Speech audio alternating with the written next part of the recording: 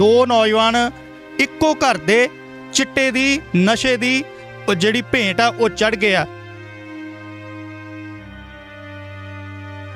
ਛੋਟੇ ਛੋਟੇ ਬੱਚੇ ਦੇਖੋ, ਕਿਸ ਤਰ੍ਹਾਂ ਪਿੱਟ ਸਿਆਪਾ ਕਰ ਰਹੇ ਆ। ਬੱਚੇ ਕਹਿ ਰਹੇ ਹੈ, ਮੇਰੇ ਪਾਪਾ ਨੂੰ ਜਾਣ ਨਾ ਦਿਓ। ਕਿੱਥੋਂ ਆਊਗਾ ਪਾਪਾ?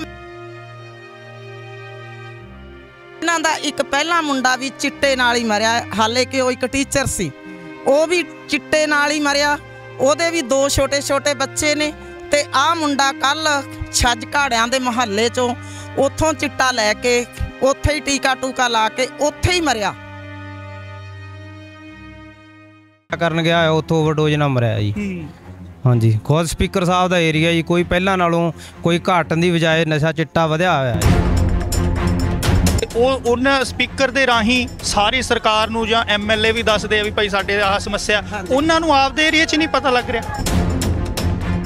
ਜੇ ਪੰਜਾਬ ਦੇ ਵਿੱਚ ਅੱਤਵਾਦ ਖਤਮ ਹੋ ਸਕਦਾ ਜੇ ਸਰਕਾਰਾਂ ਚਾਹਣ ਤਾਂ ਕੀ ਨਹੀਂ ਹੋ ਸਕਦਾ? ਚਿੱਟਾ ਕਿਉਂ ਨਹੀਂ ਬੰਦ ਹੋ ਸਕਦਾ? ਨਸ਼ੇ ਦੇ। ਸਾਡੇ ਪਿੰਡ 'ਚ ਘੱਟ ਤੋਂ ਘੱਟ 200 150 ਮੁੰਡਾ ਚਿੱਟਾ ਲਾ ਰਿਹਾ ਜੀ ਅੱਜ ਕੱਲ੍ਹ। ਖੁਦ ਸਪੀਕਰ ਸਾਹਿਬ ਦਾ ਏਰੀਆ ਤੇ ਚਿੱਟਾ ਹਰ ਗਲੀ 'ਚੋਂ, ਸ਼ਹਿਰ 'ਚੋਂ ਮਿਲ ਰਿਹਾ।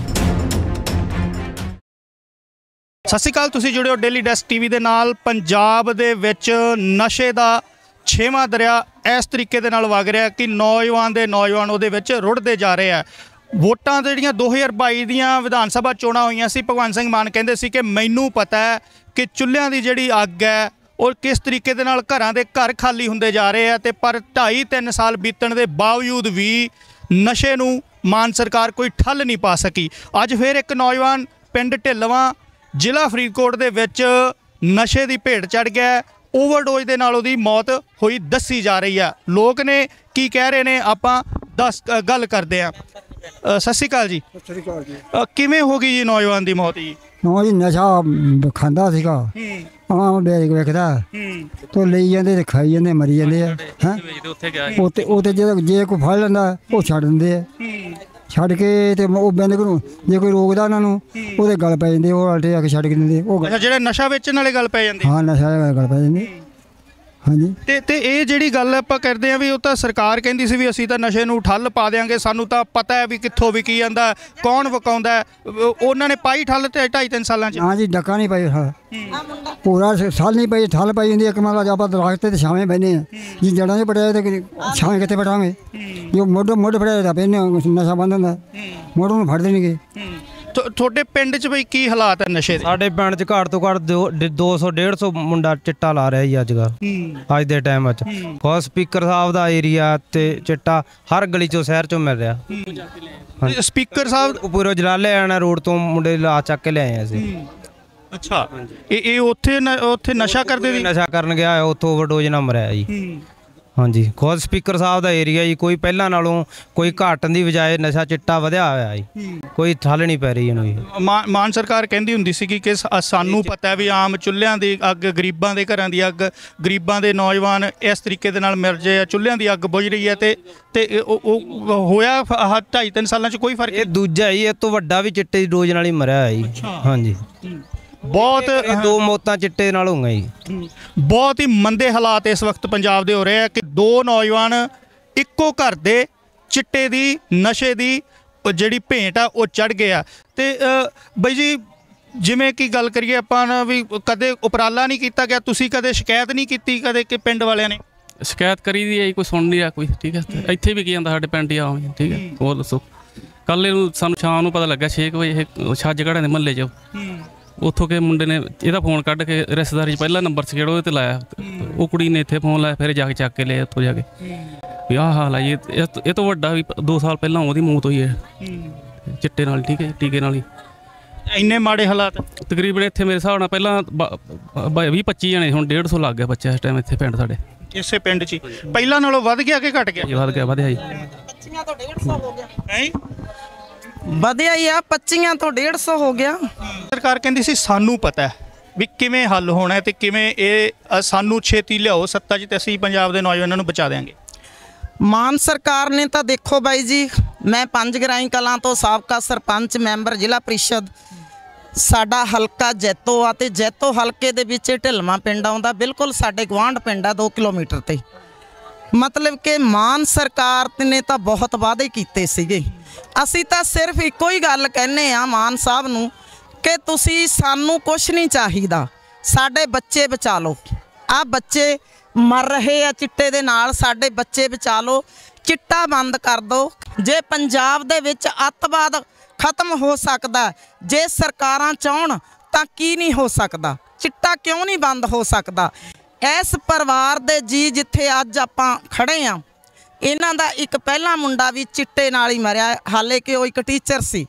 ਉਹ ਵੀ ਚਿੱਟੇ ਨਾਲ ਹੀ ਮਰਿਆ, ਉਹਦੇ ਵੀ ਦੋ ਛੋਟੇ ਛੋਟੇ ਬੱਚੇ ਨੇ ਤੇ ਆ ਮੁੰਡਾ ਕੱਲ ਛੱਜ ਘਾੜਿਆਂ ਦੇ ਮੁਹੱਲੇ ਚੋਂ ਉੱਥੋਂ ਚਿੱਟਾ ਲੈ ਕੇ ਉੱਥੇ ਹੀ ਟੀਕਾ ਟੂਕਾ ਲਾ ਕੇ ਉੱਥੇ ਹੀ ਮਰਿਆ। ਤਾਂ ਉੱਥੇ ਮਰਿਆ ਤਾਂ ਇਹਨਾਂ ਨੇ ਇਸ ਕਰਕੇ ਉੱਥੋਂ ਚੱਕਿਆ ਕਿ ਹੋ ਸਕਦਾ ਬਚ ਜਾਵੇ, ਤਾਂ ਹਸਪੀਟਲ ਲੈ ਗਏ। ਤਾਂ ਮੈਂ ਪੁੱਛਦੀ ਆ ਮਾਨ ਸਰਕਾਰ ਨੂੰ ਕਿ ਕਿੱਥੇ ਆ ਤੇਰੇ ਵਾਅਦੇ? ਕਿੱਥੇ ਆ ਹਾਕਮਾਂ? 70 ਵਿਛ ਰਹੇ ਆ ਲੋਕਾਂ ਦੇ ਘਰਾਂ ਵਿੱਚ। ਆ ਛੋਟੇ ਛੋਟੇ ਬੱਚੇ ਦੇਖੋ, ਕਿਸ ਤਰ੍ਹਾਂ ਪਿੱਟ ਸਿਆਪਾ ਕਰ ਰਹੇ ਆ। ਬੱਚੇ ਕਹਿ ਰਹੇ ਹੈ ਮੇਰੇ ਪਾਪਾ ਨੂੰ ਜਾਣ ਨਾ ਦਿਓ। ਕਿੱਥੋਂ ਆਊਗਾ ਪਾਪਾ? ਮੈਂ ਭਗਵੰਤ ਮਾਨ ਨੂੰ ਪੁੱਛਦੀ ਆ, ਕਿਉਂ ਕੁੰਭ ਕਰਨੀ ਨੀਂਦੇ ਸੁੱਤਾ ਹੈ ਇਹ ਬਦਲਾ ਨਹੀਂ ਤੇਰੀ ਸੌਕਣਾ ਵਾਲੀ ਲੜਾਈ ਰਹਿ ਗਈ। 2.5 ਸਾਲ ਤੂੰ ਸੌਕਣਾ ਵਾਂਗੂ ਲੜੀ ਗਿਆ ਆਪੋਜੀਸ਼ਨਾਂ ਨਾਲ। ਪਰ ਤੂੰ ਪੰਜਾਬ ਦਾ ਕੀਤਾ ਕੀ ਆ?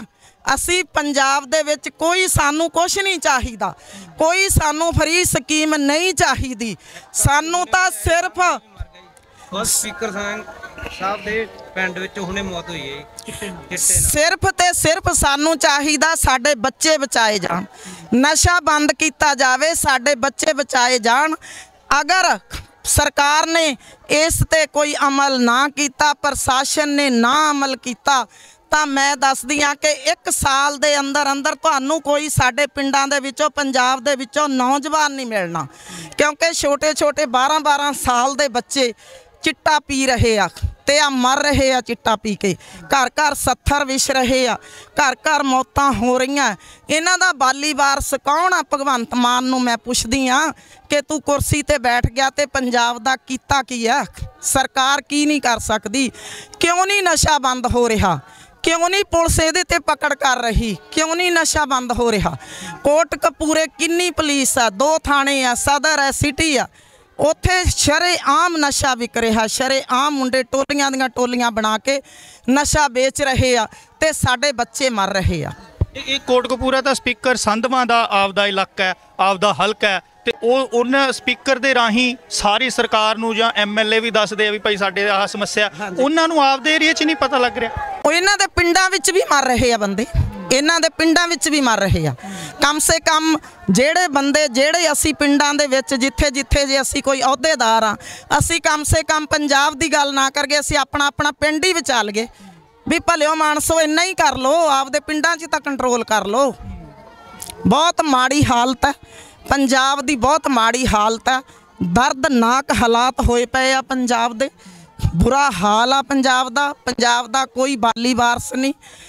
ਸ਼ਰੇਆਮ ਕਤਲੋ, ਗਾਰਤ, ਡਕੈਤੀਆਂ, ਲੁੱਟਾਂ, ਖੋਹਾਂ, ਬਲਾਤਕਾਰ ਤੇ ਚਿੱਟੇ ਦੇ ਨਾਲ ਸਾਡੇ ਬੱਚੇ ਮਰ ਜਾਂਦੇ ਆ। ਤਾਂ ਮੈਂ ਭਗਵੰਤ ਮਾਨ ਨੂੰ ਮੰਤਰੀ ਹੈ ਮੁੱਖ ਮੰਤਰੀ ਦੀ ਅਹਿਮੀਅਤ ਜਾਣ ਕਿ ਮੁੱਖ ਮੰਤਰੀ ਇੱਕ ਪੰਜਾਬ ਦਾ ਤੂੰ ਰਾਜਾ ਹੈ ਤੇ ਤੇਰੇ ਕੀ ਕੰਮ ਨੇ? ਜਦੋਂ ਤੇਰੀ ਜਨਤਾ ਦੁਖੀ ਆ, ਪਿੰਡਾਂ ਦੇ ਵਿੱਚ ਬੁੜੀਆਂ ਤੇਰਾ ਪਿੱਟ ਸਿਆਪਾ ਕਰ ਰਹੀਆਂ, ਤੇਰੀ ਸਰਕਾਰ ਤਾਂ ਪਿੱਟ ਸਿਆਪਾ ਕਰ ਰਹੀਆਂ, ਤੇ ਕੀ ਤੂੰ ਰਾਜਾ ਹੈ? ਕਿਉਂ ਨਹੀਂ ਨਸ਼ਾ ਬੰਦ ਹੋ ਰਿਹਾ? ਕਿਉਂ ਨਹੀਂ ਨਸ਼ਾ ਬੰਦ? ਨਸ਼ਾ ਬੰਦ ਕਰਾਓ, ਸਾਡੇ ਬੱਚੇ ਬਚਾਓ। ਸਾਨੂੰ ਜਿਹੜੀਆਂ ਮੁਫਤ ਦੀਆਂ ਸਹੂਲਤਾਂ ਆ ਬਿਜਲੀ ਮਾਫਾ ਆ, ਆਹ ਆਟਾ ਦਾਲ ਸਕੀਮਾਂ, ਸਾਨੂੰ ਕੁਝ ਨਹੀਂ ਚਾਹੀਦਾ। ਸਿਰਫ ਤੇ ਸਿਰਫ ਨਸ਼ਾ ਬੰਦ ਕਰਾ ਕੇ ਸਾਡੇ ਬੱਚੇ ਬਚਾਏ ਜਾਣ। ਸਾਥੋਂ ਨਿੱਤ ਇਹ ਦੁਖਾਂਤ ਨਹੀਂ ਦੇਖਿਆ ਜਾਂਦਾ। ਨਿੱਤ 25 25 ਸਾਲ ਦੀਆਂ 30 30 ਸਾਲ ਦੀਆਂ ਕੁੜੀਆਂ ਵਿਧਵਾ ਹੁੰਦੀਆਂ ਨਹੀਂ ਦੇਖੀਆਂ ਜਾਂਦੀਆਂ। ਨਿੱਕੇ ਨਿੱਕੇ ਬੱਚੇ ਰੋਂਦੇ ਨਹੀਂ ਦੇਖੇ ਜਾਂਦੇ। ਆ ਤੁਸੀਂ ਦਿਖਾਓ ਹੁਣ ਬੱਚਿਆਂ ਦਾ ਕੀ ਹਾਲ। ਇੱਕੋ ਪਰਿਵਾਰ ਦੇ ਦੋ ਨੌਜਵਾਨ ਇਸੇ ਨਸ਼ੇ ਦੀ ਭੇਟ ਚੜ ਜਾਣੇ ਇਹ ਤਾਂ ਬਹੁਤ ਹੀ। ਮੰਦਭਾਗੀ ਗੱਲ ਹੈ। ਬਹੁਤ ਮੰਦਭਾਗੀ ਗੱਲ ਹੈ। ਇੱਕੋ ਪਰਿਵਾਰ ਦੇ ਉਹ ਵੀ ਛੋਟੀ ਉਮਰ ਦੇ ਮੁੰਡੇ। ਇੱਕੋ ਪਰਿਵਾਰ ਦੇ ਦੋ ਜੀ ਚਿੱਟੇ ਦੀ ਭੇਂਟ ਚੜ ਗਏ ਉਹੀ ਘਰੇ ਕਮਾਉਣ ਵਾਲੇ ਤੇ ਆ ਕੱਲੀਆਂ ਬੁੜੀਆਂ ਤੇ ਬੱਚੇ ਰਹਿ ਗਏ। ਤੇ ਇਹ ਕੀ ਕਰਨਗੇ? ਦੱਸੋ ਕੀ ਹੋਏਗਾ? ਚਿੱਟਾ ਸਰਕਾਰ ਤਾਂ ਕਹਿੰਦੀ ਹੈ ਵੀ ਅਸੀਂ ਰੋਕ ਲਾਂਗੇ ਪਰ ਰੁਕਦਾ ਨਹੀਂ। ਕੀ ਚਾਹੀਦਾ ਕੀ ਇਹੋ ਜਿਹਾ ਲੋਕ ਕਰਨ ਜਾਂ ਕੀ ਸਰਕਾਰਾਂ ਦੇ ਸੁਝਾਅ? ਸਰਕਾਰ ਰੋਕਦੀ ਨਹੀਂ। ਸਰਕਾਰ ਚਾਵੇ ਤਾਂ ਸਰਕਾਰ ਕੀ ਨਹੀਂ ਕਰ ਸਕਦੀ। ਆ ਜਿਹੜੇ ਚਿੱਟੇ ਵਾਲੇ ਫੜੇ ਜਾਂਦੇ ਆ ਚਿੱਟੇ ਦੇ ਤਸਕਰ। ਇਹਨਾਂ ਨੂੰ ਕਮ ਸੇ ਕਮ 20 20 ਸਾਲ ਦੀ ਕੈਦ ਹੋਣੀ ਚਾਹੀਦੀ ਆ। ਇਹਨਾਂ ਨੂੰ ਲੈ ਕੇ ਜਾਂਦੇ ਆ, ਤੀਜੇ ਦਿਨ ਇਹ ਬਾਹਰ ਆ ਜਾਂਦੇ ਆ। ਬਾਹਰ ਆ ਕੇ ਫਿਰ ਉਹੀ ਕੰਮ ਕਰਨ ਲੱਗ ਜਾਂਦੇ ਆ। ਸਰਕਾਰ ਨੇ ਹਲੇ ਕੰਟਰੋਲ ਕੀਤਾ ਹੀ ਨਹੀਂ ਨਸ਼ੇ ਤੇ। ਜੇ ਕੰਟਰੋਲ ਹੁੰਦਾ, ਤਾਂ ਸਰਕਾਰ ਨੇ ਅੱਤਵਾਦ ਤੇ ਵੀ ਕਾਬੂ ਪਾ ਲਿਆ ਸੀ। ਜਿਹੜਾ ਕਿ ਸਾਨੂੰ ਪਤਾ ਵੀ ਉਹ ਕਿੱਡਾ ਦੁਖਾਂਤ ਮਾੜਾ ਸੀ। ਤਾਂ ਨਸ਼ਾ ਕਿੱਡੀ ਕੁ ਗੱਲ ਹੈ। ਸਰਕਾਰ ਰੋਕ ਨਹੀਂ ਰਹੀ ਸਰਕਾਰ ਕੰਟਰੋਲ ਨਹੀਂ ਕਰ ਰਹੀ ਪੁਲਿਸ ਪ੍ਰਸ਼ਾਸਨ ਬਿਲਕੁਲ ਇੱਧਰ ਧਿਆਨ ਨਹੀਂ ਦੇ ਰਿਹਾ। ਤਾਂ ਮੇਰੀ ਹੱਥ ਬੰਨ ਕੇ ਪੁਲ- ਪੁਲਿਸ ਪ੍ਰਸ਼ਾਸਨ ਨੂੰ ਵੀ ਬੇਨਤੀ ਆ ਕਿ ਲੋਕਾਂ ਤੇ ਤਰਸ ਕਰੋ ਲੋਕਾਂ ਦੇ ਬੱਚੇ ਬਚਾਓ। ਮਾਨ ਸਾਹਿਬ ਨੇ ਹੁਣ ਬਦਲੀਆਂ ਕਰਤੀਆਂ ਸਾਰੇ ਵੀ ਬਈ ਇਸੇ ਕਰਕੇ ਵੀ ਕੋਈ ਨਸ਼ਾ ਵੀ ਰੁਕ ਜੂਗਾ ਸਾਰੇ ਥਾਣੇ ਦੇ ਥਾਣੇ ਬਦਲਤੇ ਥਾ- ਵੀ ਕਰਪਸ਼ਨ ਵੀ ਰੁਕ ਜੂ। ਇਹ ਇਹ ਨਹੀਂ ਨਸ਼ਾ ਰੋਕਣ ਵਾਸਤੇ ਨਹੀਂ ਬਦਲੀਆਂ ਹੋਈਆਂ। ਕਰਪਸ਼ਨ ਰੋਕਣ ਵਾਸਤੇ ਨਹੀਂ ਬਦਲੀਆਂ ਹੋਈਆਂ। ਕਰਪਸ਼ਨ ਕਿੱਥੇ ਰੁਕੀ ਆ? ਕਰਪਸ਼ਨ ਦੁੱਗਣੀ ਹੋ ਗਈ ਆ। ਜੇ ਆ ਮੁੰਡਾ ਦੱਸ ਰਿਹਾ ਸੀ ਕਿ ਪਹਿਲਾਂ ਸਾਡੇ ਪਿੰਡ 'ਚ 25 ਮੁੰਡੇ ਚਿੱਟਾ ਲਾਉਂਦੇ ਸੀ ਤੇ ਅੱਜ 150 ਆ। ਇਹ ਦਿਨ ਦੁੱਗਣੀ ਕਰਪਸ਼ਨ ਔਰ ਨਸ਼ਾ ਦਿਨ ਬ ਦਿਨ ਵੱਧ ਰਿਹਾ। ਇਹ ਤਾਂ ਇਹਨਾਂ ਨੇ ਆਪਦਾ ਕਰਕੇ ਕਿ ਅਸੀਂ ਪੰਜਾਬ 'ਚੋਂ ਬੁਰੀ ਤਰ੍ਹਾਂ ਹਾਰੇ ਆ, ਤਾਂ ਇਹਦੇ ਵਿੱਚ ਪੁਲਿਸ ਨੇ ਮਤਲਬ ਕਿ ਸਾਡਾ ਸਾਥ ਨਹੀਂ ਦਿੱਤਾ। ਇਹ ਪੁਲਿਸ ਨੂੰ ਟਾਰਗੇਟ ਇਸ ਕਰਕੇ ਬਣਾਇਆ। ਅ- ਅ, ਬਾਈ ਜੀ ਤੁਸੀਂ ਵੀ ਦੱਸ ਰਹੇ ਸੀ ਕਿ ਹੁਣੇ ਹੀ ਅ, ਕਿੱਥੋਂ ਖਬਰ ਆਈ ਹੈ ਸਪੀਕਰ ਦੇ ਪਿੰਡੋਂ? ਹਾਂਜੀ ਸੰਧਵਾ ਤੋਂ ਹੁਣੇ ਹੁਣੇ ਮੁੰਡੇ ਕਹਿ ਰਹੇ ਆ ਉੱਥੇ ਵੀ ਇੱਕ ਮੁੰਡਾ ਚਿੱਟੇ ਨਾਲ ਮੌਤ ਹੋ ਗਈ ਆ ਅੱਜ ਦੀ ਸਪੀਕਰ ਦੇ ਆਪਦੇ ਪਿੰਡ ਆਪਦੇ ਗੁਰਦਾਸ ਪਿੰਡ ਚ ਕੁਲਤਾਰ ਸੰਧਵਾ ਦੇ। ਹਾਂਜੀ। ਤੇ ਇੰਨੇ ਮਾੜੇ ਹਾਲਾਤ ਬਹੁਤ ਜ਼ਿਆਦਾ ਮਾੜੇ ਆ ਜੀ। ਹਰ ਦੂਜਾ ਘਰ ਛੱਡ ਕੇ ਘਰ ਹਰੇਕ ਘਰ ਦੇ ਵਿੱਚ ਦੋ ਮਰੀਜ਼ ਚਿੱਟੇ ਦੇ ਆ। ਹਾਂਜੀ। ਆਪਣੇ ਇਸ ਪਿੰਡ 'ਚ ਵੀ? ਢਲਮਾ ਕਲਾਂ ਦੀ ਗੱਲ ਕਰ ਰਹੇ ਹਾਂ ਜੀ ਹਾਂਜੀ। ਤੇ ਫਿਰ ਤੇ ਹੋ ਸਕਦਾ ਵੀ ਕੱਲ ਨੂੰ ਵੀ ਇਹ ਹੋਰ ਨੌਜਵਾਨਾਂ ਨਾਲ ਵੀ ਕੋਈ ਇਹੋ ਜਿਹਾ ਘਟ- ਵਧਣਗੇ ਜੀ ਹੋਰ ਵਧਣਗੇ। ਹਫ਼ਤੇ ਹਫ਼ਤੇ ਬਾਅਦ ਮੌਤ ਆਈ ਲਓ ਜੀ ਕਿਸੇ ਚਿੱਟੇ ਵਾਲੇ ਦੀ। ਆਪਣੇ ਪਿੰਡ 'ਚ ਪਹਿਲਾਂ ਕਿੰਨੀਆਂ ਮੌਤਾਂ ਹੋ ਗਈਆਂ ਚਿੱਟੇ ਨਾਲ? ਘੱਟ ਤੋਂ ਘੱਟ ਮੇਰੇ ਦੇਖਣ ਵਿੱਚ 10 ਮੌਤਾਂ ਹੋ ਗਈਆਂ ਜੀ।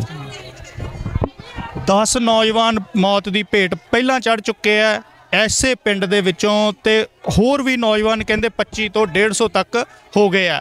ਹਾਲਾਤ ਪੰਜਾਬ ਦੇ ਦਿਨ ਬ ਦਿਨ ਮਾੜੇ ਤੋਂ ਵੀ ਵੱਧ ਤੋਂ ਬੱਤਰ ਹੁੰਦੇ ਜਾ ਰਹੇ ਆ ਪਰ ਸਰਕਾਰ ਸਿਰਫ ਇਹ ਕਹੇ ਆ ਕਿ ਜਿਹੜੀਆਂ ਲਿਪਾ ਪੋਤੀਆਂ ਵੱਲ ਧਿਆਨ ਹੈ, ਸਰਕਾਰ ਦਾ ਕਿਸੇ ਆਮ ਲੋਕਾਂ ਦੇ ਸਮੱਸਿਆ ਵੱਲ ਧਿਆਨ ਨਹੀਂ। ਸਰਕਾਰ ਸਿਰਫ ਆਪਦੀਆਂ ਹੀ ਆਪਣੇ ਜਿਹੜੀ ਕਹਿੰਦੇ ਆ ਕਿ ਗਫਲਤ ਦੀ ਨੀਂਦ ਸੁੱਤੀ ਹੋਈ ਹੈ ਤੇ ਜਿਹਦੇ ਕਰਕੇ ਉਹਨਾਂ ਨੂੰ ਸਿਰਫ ਇਹ ਲੱਗ ਰਿਹਾ ਵੀ ਇਸ ਜੋ ਕਰ ਰਹੇ ਆ, ਅਸੀਂ ਸਹੀ ਕਰ ਰਹੇ ਆ।